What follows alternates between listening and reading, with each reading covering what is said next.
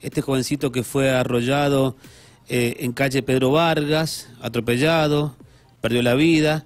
La persona que lo arrolló, lejos de brindarle auxilio, se escapó, estuvo prófugo, fue la unidad investigativa quien logró atraparlo después de casi dos semanas. Y la novedad es que la semana pasada eh, fue beneficiado con prisión domiciliaria algo que fue ratificado en el día de ayer después de que se hizo la apelación. ¿no? Estamos en contacto ya telefónico con el doctor Diego Díaz, él es el abogado de la familia Disparti. Em, ¿Qué tal, Diego? ¿Cómo te va? Silvio Barroso te saluda. Buen día. Hola, buenos días, Silvio. ¿Cómo estás? Bien, todo bien, Diego. ¿Qué pasó la semana pasada? ¿Que fue la doctora Vera quien lo, le dio el beneficio de la, de la prisión domiciliaria?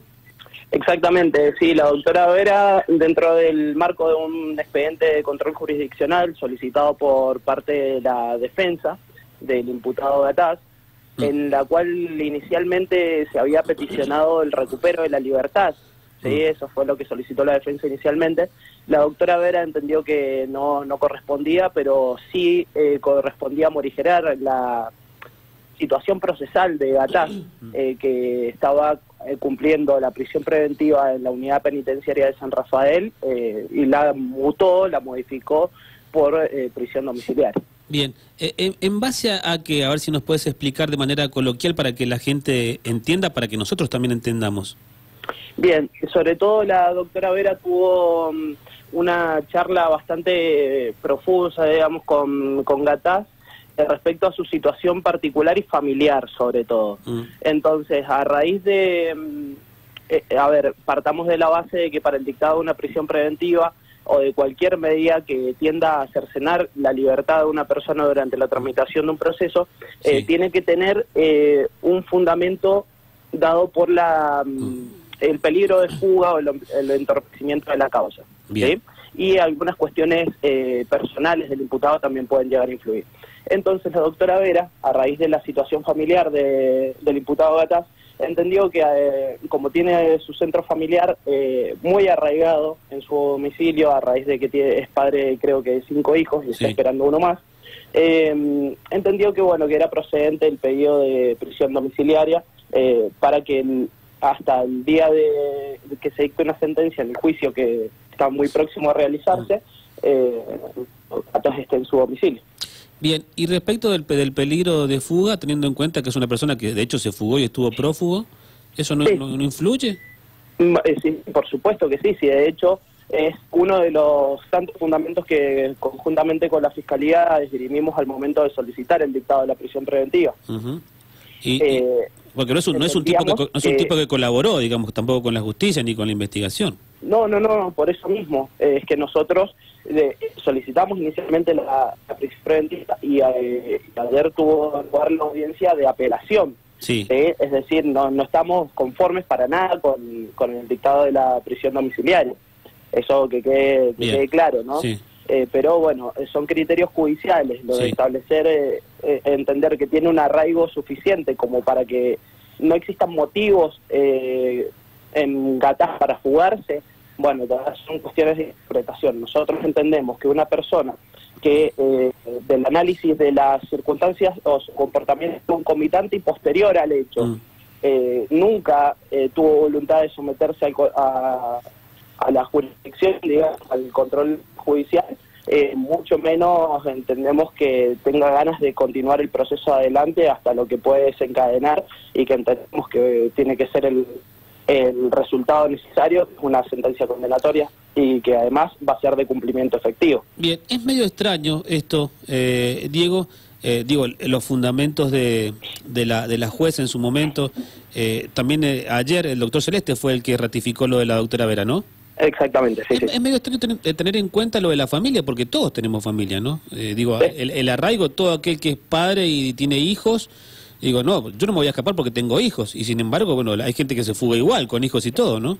Totalmente, totalmente. No, eh, además que para determinar si existe arraigo en una persona o no, no es tenerse presente solo las cuestiones familiares, sino también cuestiones laborales, mm. eh, cuestiones patrimoniales, si se quiere. Sí. Y entendemos que todas esas circunstancias en Gatás no están dadas pero eh, bueno, igualmente él se encuentra actualmente alojado en, eh, la, unidad, en la unidad penitenciaria, bien digo, eh, porque no se haya podido determinar la viabilidad del sistema de control por georreferenciación, Sí. que es la magnética que se le coloca son su domicilio. Sí, y, o sea que todavía no se va a la casa, pero está en condiciones de hacerlo ya. Sí. Eh, cuando se determine la viabilidad del sistema, sí. Si no, deberá fijar un nuevo domicilio que, porque a ver, es básicamente que llega la señal hasta el barrio El Molino.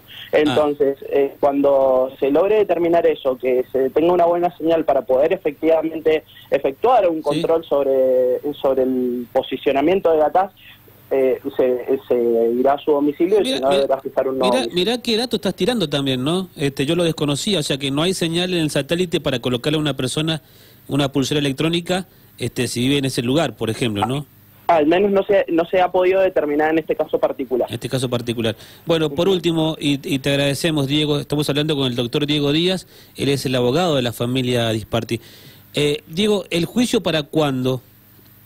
Eh, no tengo todavía certeza respecto a la fecha, pero sí le- les, puedo adelantar que está próximo. La actividad probatoria ya no, no, no va a tener muchos más movimientos, entonces en el- antes del fin de año, por supuesto, vamos a estar Bien. con el juicio en puerta. Eh, ¿Nos podés recordar cuál es la carátula de qué está acusado? Está acusado por un homicidio culposo agravado por el manejo de un vehículo automotor Mm. y también hay ciertas agravantes respecto a lo que fue la fuga Mm. eh, posterior y la, la falta de habilitación para, para conducir. Eso que, que la, pena que le puede caber a esta persona, ¿de qué sería? ¿De qué estamos hablando? De 3 a 6 años. Bien, o sea que puede ir a la cárcel tranquilamente. Eh, sí, sí, sí, es que justamente por las...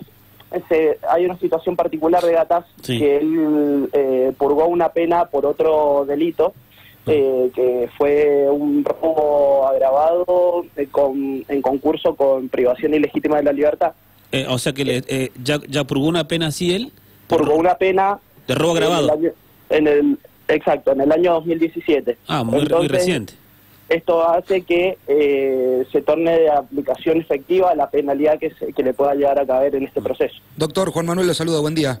Juan Manuel, buen día. Muy bien. Eh, eh, respecto a algún agravante posterior a- a- al siniestro, en cuanto a lo que se dijo de por ahí este, solucionar alguna cuestión con el vehículo, pintura, algo así, ¿existe o no?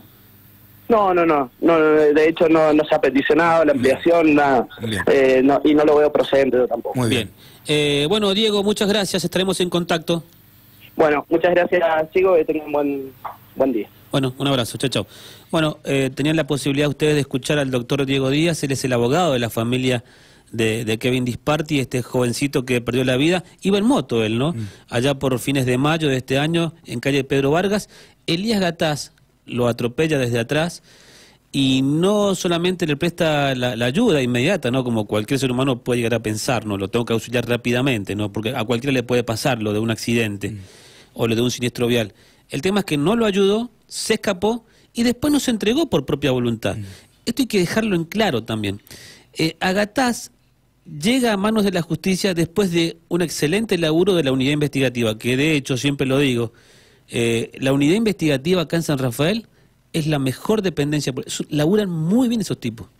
Muy bien. Em, bueno, lo atrapan, lo agarran, se lo entregan a la justicia. La justicia, eh, ¿te acordás que le dimos cobertura hace Sí, ya sí. un par de semanas a la audiencia, previo, a la audiencia de prisión preventiva? Se le dio prisión preventiva con la modalidad de ir directamente tras las rejas, ¿no? A, a la cárcel, a la penitenciaría local hasta tanto llegue el juicio. Eh, se presenta un recurso eh, la semana pasada y la, la doctora Vera, María Vera, le dice, sí, hay prisión eh, domiciliaria. Ante la pregunta, dice, sí, sigue con prisión preventiva, pero en la modalidad de domiciliaria. Fue apelada esta cuestión y la semana esta semana, ayer, el doctor Celeste este, ratificó lo que dijo la doctora Vera, ¿no? O sea que está en condiciones de irse a su casa. El tema, lo que nos explicaba el doctor Díaz, y es lo que a mí me hace ruido, un poquito de ruido, eh, tiene que ver con, con esto de por, por qué es la prisión preventiva, ¿no? Eh, hay peligro de fuga, puede entorpecer la investigación, y de hecho esas dos cosas se cumplen, ¿no? Porque el tipo se fugó, no colaboró para nada con la justicia, eh, etcétera, etcétera. Es un tipo que tiene antecedentes penales, un tipo que ah, en el 2017 purgó una, una pena por robo agravado, ¿sí? Y privación ilegítima de la libertad, lo cual no, es poca cosa. Eh, pero, de acuerdo a lo que, insisto, nos explicaba bien el profesional que asiste a la familia Disparti, eh, esta persona, o al menos lo que se considera es que tiene un arraigo, ¿no? De, de, familia o algo así, porque tiene hijos, porque, bueno, no sé, no se va a escapar porque tiene hijos, esa sería la cuestión, más o menos así. Eh, medio raro. Bueno, criterios, ¿no? Respecto de lo que algunos magistrados deciden.